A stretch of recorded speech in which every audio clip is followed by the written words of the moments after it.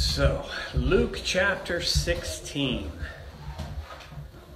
Today we're going to be in verses 1 through 18, and we are going to talk about happiness.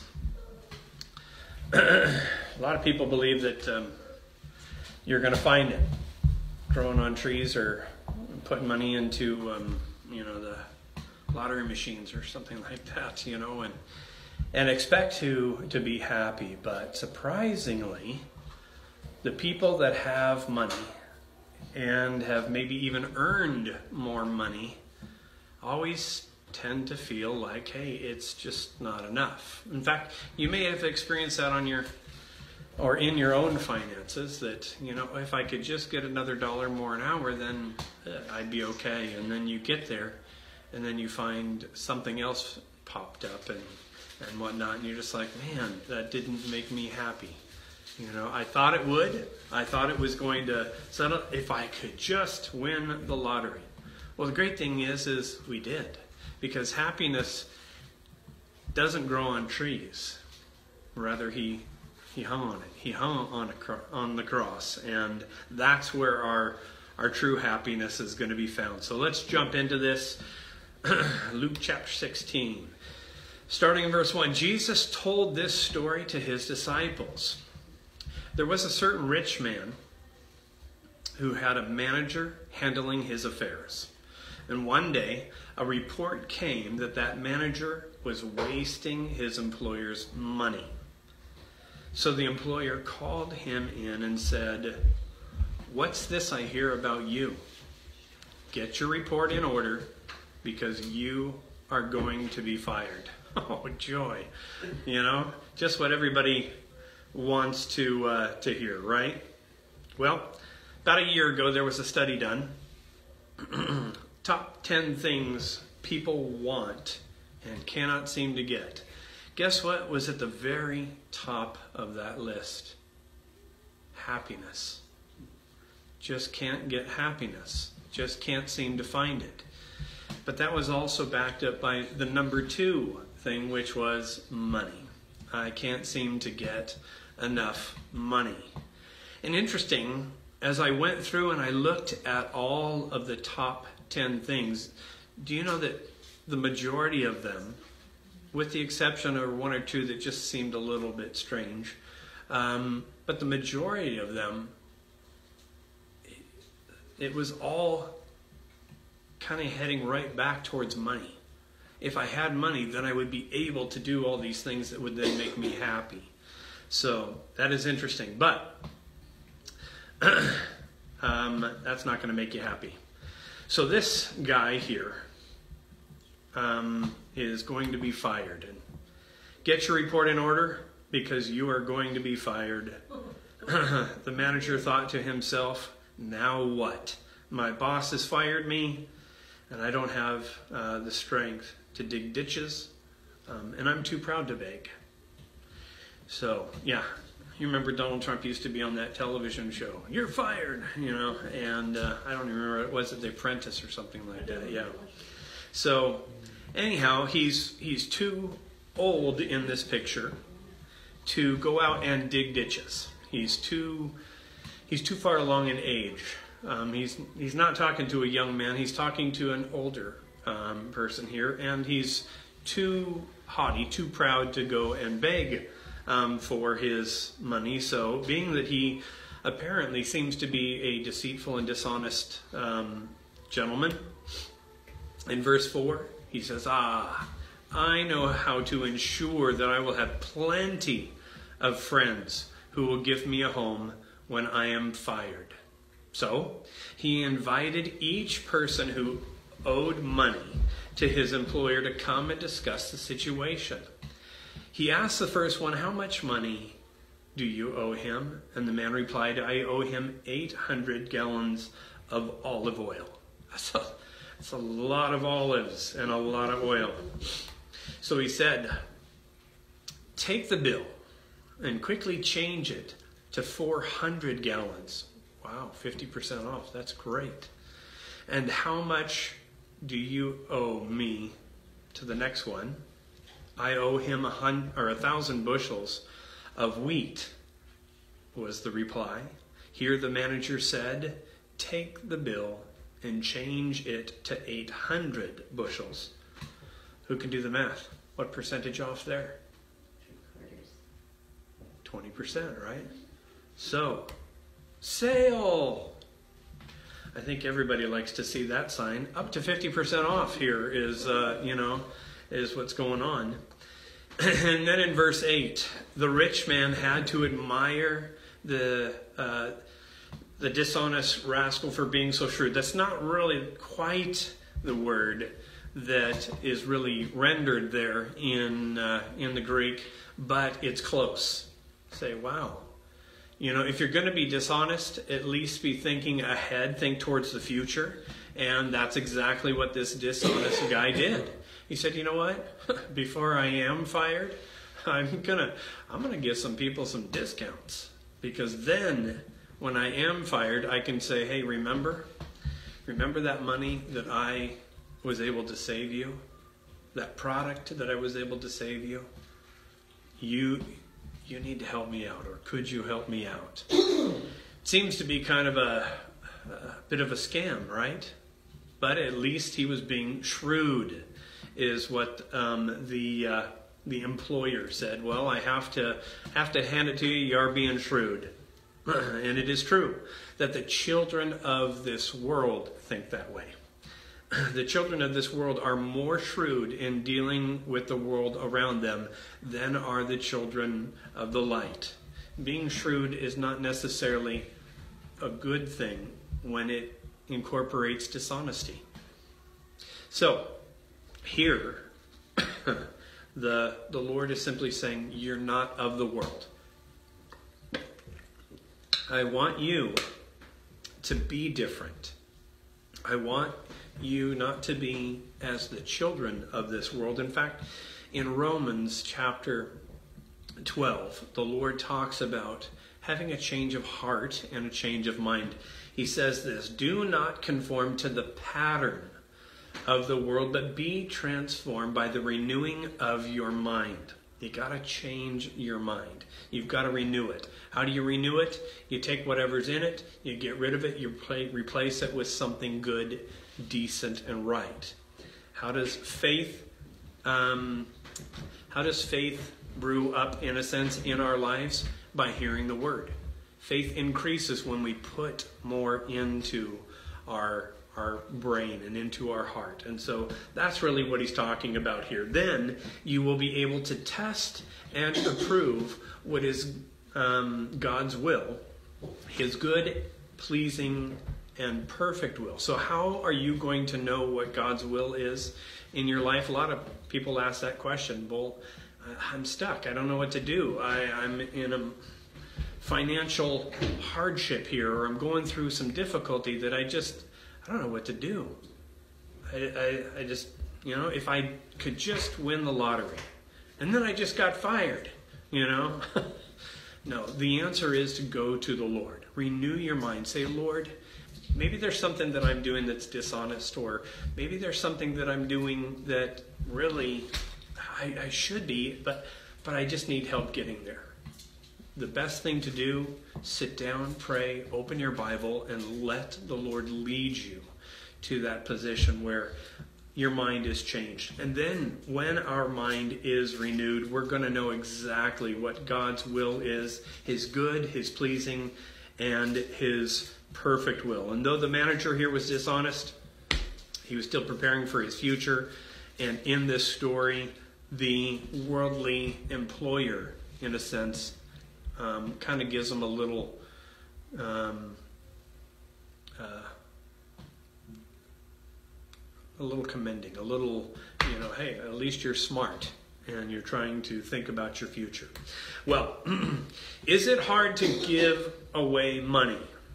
Yes and no. It's both answers are true, right? there are times when, um, yes, it's hard for me to give away money. I lost the key to my wallet, um, and you know, or I'm sorry, I only carry plastic, um, you know, that kind of thing. But then when you do have it, and and you know somebody is in need, and you want to help them, it is such a, a amazing feeling to be able to reach out and meet somebody's need just as much as the Lord has met our need, in a sense, and just say, wow, you know. Um, does that mean that we just hand money out to every single person that's holding a sign on the corner? No. The Lord asks us to be children of the light, but to be not so much shrewd as it as it is being led. Lord, what is your will in this situation? There's this person here. Are you wanting me to meet this need? Is is my direction from you that which is going to help them out, help them up, so to speak? And in those times, man, to be able to just give them some food or to, to hand them some money, but then also to put your arm around them and pray for them and say, hey, I'm going to pray for you this week and ask that the Lord will meet your needs and really meet you where you're at. It can be hard, but it can also um, can also be very easy. Why does the Lord ask us to give in the first place? Any ideas? How selfish are we? Just turn on the news, right? You know, we can see just how selfish we can really be. Why then would the Lord, if we are selfish, ask us to um, to give away?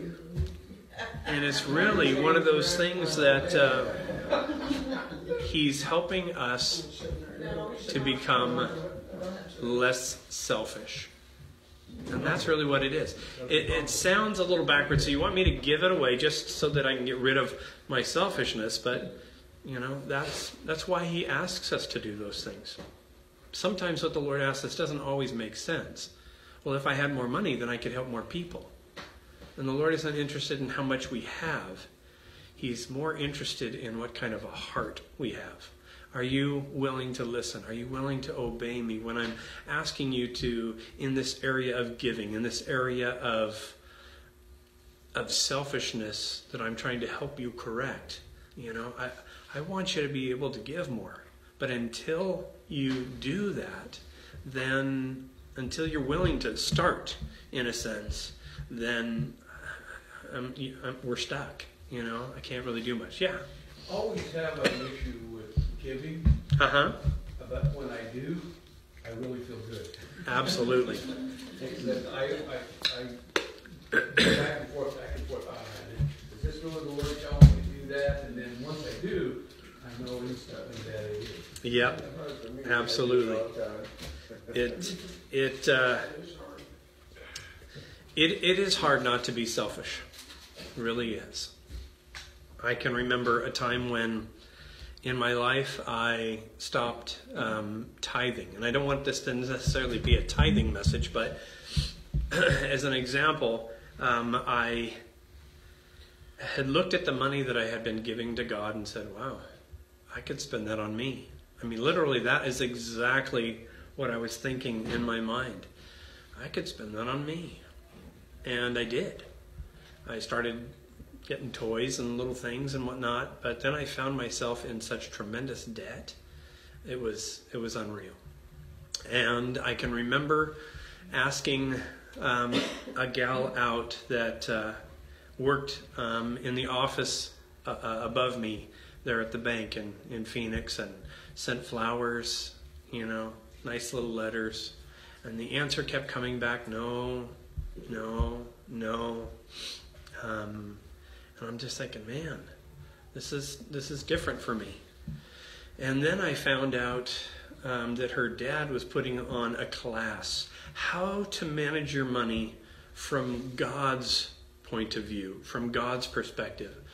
And I thought to myself, you know, if I go and I take the class and I can impress dad, then maybe dad will say something to daughter and he'll say, "Hey, here's a nice young put together man.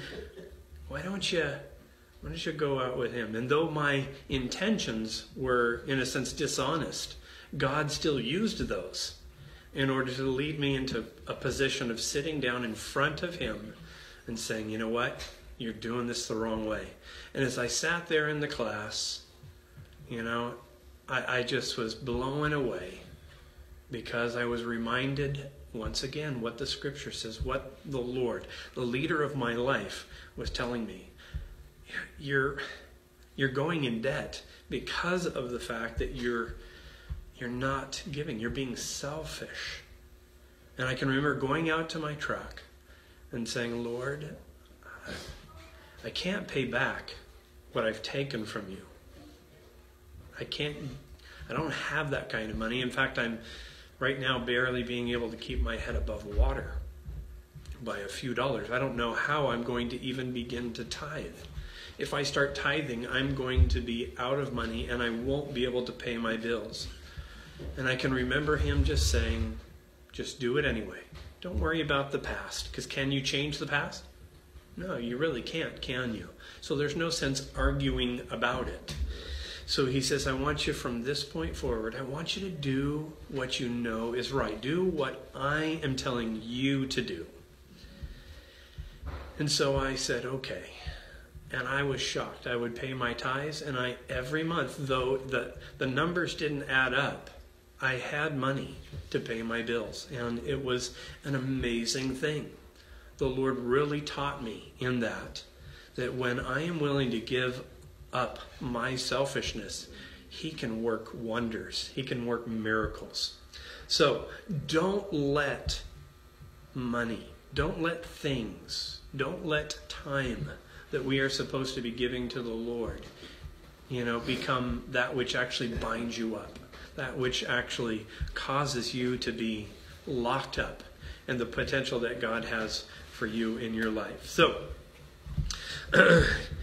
moving on, he says, I say to you, make friends for yourselves by unrighteous mammon, that when you fail, you may uh, receive, or they may receive you into an everlasting home. Now, I have both versions up here because I really do, uh, I really do like what the Lord says here um, at the beginning. He says to use money, mammon is is really the the term that he's using there. Um, use it to make friends. It's unrighteous. Why is money unrighteous? Well, who created it? Man did. God didn't put Adam and Eve in the garden and then hand them a bank account. You know, he didn't just say, "Well, here you are." He said, "I've I've created all of this for you. This is all for you." So he calls it here unrighteous mammon. Why? Probably because it's a manipulative kind of uh, situation. In fact, the Hebrew word um, for mammon means that in which one puts one's trust. Where is my trust? You flip over the dollar bill, and what's it say? In God we trust. But yet, it's, you know, sadly, that's not the case, is it? It, it just hasn't become that. So, riches, depending on them for happiness, will actually rob us of our happiness and can even put our salvation in jeopardy. Wait a minute, are you saying that if I chase after money, if I chase after those things that I can get, hang on to, and hold on to, that somehow I could lose salvation or my position with the Lord? He sure seems to say that in the scriptures. He says um, here, in just a minute, we'll go into that, but in 1 Timothy 6, verse 10, he says, For the love of money. This is probably one of the most misquoted verses of all time. Money is the root of all evil. No, it's not. It's our heart that is really the root. But it's my love. Where does my love come? From my heart. Okay? It is the love of money that is the root of all kinds of evil. Some people eager for money have wandered from the faith and pierced themselves with many griefs. They've wandered away from that which they had found to be that thing that makes them whole. We're all chasing after something that's going to make us happy. But that happiness is only going to be found in the one that stretched out his arms and died on the cross for you and I. It's only going to be found in Jesus Christ. You can never have enough money or drugs or sex or stuff in general. There is always something there that leaves us empty. It never fulfills, it's never enough. And yet, God is that thing that is enough. On to verse 10. He says, If you are faithful in the little things, you will be faithful in larger ones. But if you are dishonest in little things, won't you be dishonest with a greater responsibility? The answer to that is hypothetical. yes. If I'm dishonest with the little things, then I will be in the big one. How many of you have ever stolen something? Oh, good. I'm glad to see that you're honest. Even if it was just a pencil off somebody's desk, right? uh, but the thing is, is that makes us all thieves. How many of you have told a lie? Okay. You know, I mean, we could go through the whole Ten Commandments and we would find that we have broken every one of them. But the great thing about it is, is we serve a Lord that did hang on the cross and did forgive us of our sins and says, I'll show you true happiness. And it isn't found in those things. Verse 11, and if you are untrustworthy about worldly wealth, who will trust you with true riches of heaven? Now, is he talking about heaven up there or literally the heaven that we have right here on earth? Because with Jesus, my life is way better off than it could ever be. I have, in a sense, a piece of heaven with me at all times. And so he's saying here look, if, if you can't be trusted with worldly things, then how can I do anything with you in a heavenly sense, with heavenly wealth? If God has blessed you financially, or blessed you with a lot of time, or blessed you with a lot of stuff, hey, give him the opportunity to use that in your life and in the lives of other people. Because what happens when you die? Where does that money go? it goes to whoever. It doesn't go with you, does it? Okay? That stuff doesn't go with you. Okay? We don't actually own it. It's all basically going to be passed along as we move along in life. and if you are not faithful with other people's things, then why should you be trusted with things of your own? Boy, if we are constantly feeling like we need something more, then we've really missed the mark. God is saying, look, here, if I can't trust you with what I've given to you, then there's probably the answer in the question. The answer is found right there. I can't trust you because you're not being faithful. What does it mean to exhibit faith? Is it just saying the words?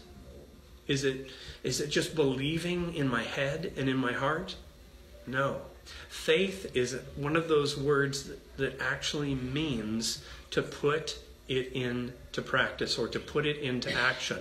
If I have faith that the Lord will meet my needs, if I'm trying to meet somebody else's needs here because he's you felt like he's told you to do that, then do it. And don't worry about it. Do it. Bless that person and let the Lord then meet your need later on. no one can serve two masters, for you will hate one and love the other, or you will be devoted to one and despise the other. You cannot serve God and be literally enslaved to money. I couldn't help myself. Star Wars, you know, it's a great example. You got Darth Vader, the dark side, and then Yoda, the good side. And what was Luke's battle? His whole battle was which one am I going to follow? And I'm going to follow my worldly father, or am I going to, um, you know, move in this direction of godly goodness? Now, I know they don't come right out and say that, but hey, that's what, you know, that's what I in a sense, take out of it. But the Pharisees, who dearly loved their money, don't you like that? That, that expressive word there, dearly. They dearly loved their money. That's going to be kind of a key term, so hang on to that in your mind. They dearly loved their money. They heard all this and they scoffed at him. And then he said to them, You like to appear righteous in public, don't we all? you like to appear righteous in public, but God knows your heart. You can't ever cheat your way through this life because God knows everything. what this world honors is detestable in the sight of God. So, does God want my money? No. Then why does He ask me to tithe? Why does He ask me to give to people? Why does He ask me to meet the needs of other people when I see them? Why does He say in His Word that if you see somebody that is hurting, then help. If you see somebody that is hungry, feed them. If you see somebody that's thirsty, give them drink. Because if you're doing that, you're doing that to whom? To the Lord. So, the world honors riches and seeks to gain them, but God honors those who honor Him. That being said, when we talk about Israel and God using them and them being in a position where they didn't really want to they wanted to honor the lord but they also wanted to be worldly in um, in 1 samuel chapter 2 not only does god know the hearts of israel but he also knows what will make them happy, is what Samuel was trying to tell them. And yet, Jesus brings this up here, and perhaps when he was speaking to the Pharisees, they may have even remembered that particular um, book of the Bible there in Samuel. But he says here in verse 16, until John the Baptist, the law of Moses, and the message of the prophets were your guide. Notice that he didn't say, and the law that you created was also your guide. He said, What? John the Baptist and the law of Moses, the Ten Commandments, okay, uh, were your guide. But now the good news of the kingdom of God is preached, and everyone is eager to get in. But that doesn't mean that the law has lost its force. Just because Jesus came and said, Look, you, you really are not able to fulfill the law. And so you're all sinners. So I'll tell you what I'm going to do. I'm going to stretch out my arms. I'm going to die for you in your place.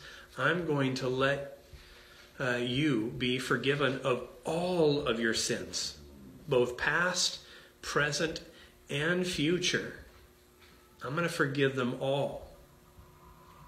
And all you have to do is just follow me. Let me be that guide. This is the new thing. And the people were into it, but the Pharisees were not. They liked the law, they loved the law. That was their tool in order to manipulate even the people. And so, what does he say to them here?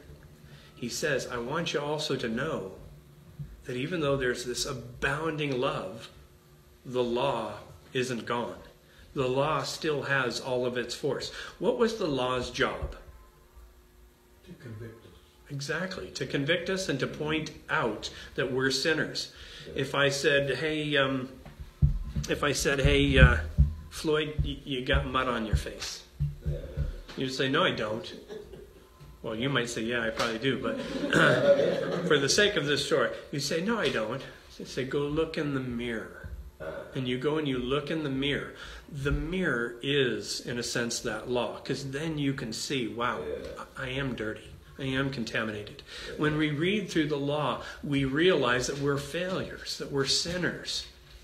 But what is the salvation that's listed there? There's not. If you keep the law perfectly, then you could, then there, there's not a problem. But if you could if you could have done that from the get go, then you didn't need it. God wouldn't have needed to, to give it.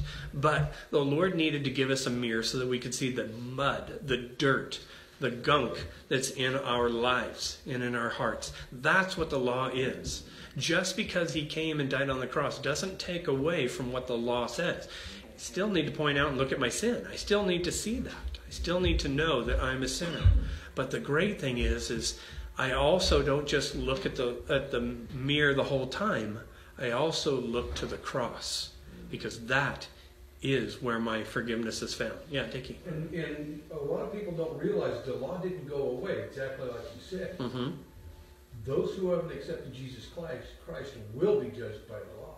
Mm-hmm. And there's absolutely no way they can come up clean without Christ. Very, very true. So the law didn't disappear, it's still there. Yep. It will be in effect for all those who don't have Jesus Christ. Absolutely. And and that's the thing is is you actually buy back your own sin if you don't accept that invitation that we talked about a couple chapters back. So, knowing this, God um, Jesus continues to say here, but that doesn't mean that the law has lost its force. It is easier for heaven and earth to disappear than for the smallest point of God's law to be overturned. It's not. It has to be there in order to show my sin. So then, how does it get overturned? It doesn't. The law in Colossians got nailed to the cross. when we think about the idea that Jesus was presenting to the Pharisees and thinking about Samuel and the, the prophet there that God had given to them, and yet they rejected his word. Look, I am here as a prophet to, to come and to show you God's will, but you don't really want me. So, who do you want? Well, the world has kings. We, we want a king. Give us a king to lead us. And then we will obey. Then we'll follow what the Lord asked us to do. Okay, who do you want as your king? Well, there's a really good looking, tall young man over there whose name is Saul. We want him. He's pretty smart. What was the outcome of that? There's a lot of things that we think are going to make us happy. There's a direction that would seem right. Lord, if you would just do this, if you would provide here, if I could just win the lottery, then everything will be okay. There is a direction that seems right to a man, but the end there leads to death, as um, Solomon would say in the Proverbs. Well, for example, Jesus continues, a man who divorces his wife and marries someone else commits adultery, and anyone who marries a woman divorced from her husband commits adultery. Now, this is interesting. Weren't we just talking about money? Oh, where did this come from? Lord, um, why are you bringing up divorce here? Let's think back to who he's talking about. He's not just talking to the people, but what did he say about the Pharisees? They dearly loved their what? Their money. Do you know that they had a law that if a woman, a wife, salted your food too much, that you could divorce her. If she burnt your food, then you could divorce her. If even there was a prettier woman available, then that was a legitimate reason then to give your wife a bill of divorce. It is amazing to me how come people don't get married anymore. And I would suggest to you that probably one of the biggest reasons they don't do it is because of the tax law. Well, if I stay single, then I can claim head of household. But then this person over here can go and claim, and we, we can get all this money. It is amazing to me how many people will jump through a worldly hoop, but they won't bow down to what the Lord's will is. They'll bow down to the worldly law, but not God's law. And as a result, when it comes right down to it, there's no real connection. Because you can walk away at any time. Where's the commitment? You can walk away at any time. Well, I don't want to get married, especially in California, because the law of California says that if I am married and I get a divorce, then half of everything I own goes to my wife. Why are you thinking that in the first place? You're not even married and you're already thinking about divorce. That is one of those words that in marriage should never come up. Just do not say the D word. Don't do it. It's not easy because we get angry, we get frustrated. But what does this have to do with my happiness or what Jesus is talking about here regarding finances? What has this got to do? Well, the Pharisees loved their money, as we read there in verse 14. They were, they were dearly um, in love with it. They loved it a lot. And that's when money became more important to them than relationships. That's when they became enslaved to it.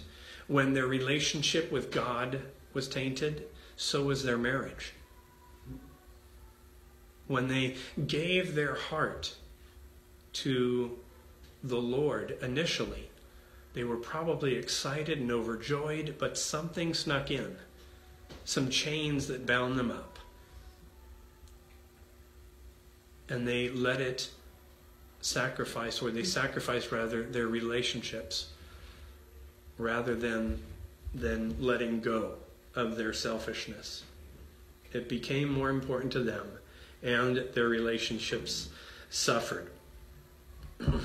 but isn't marriage here? Isn't it just a piece of paper?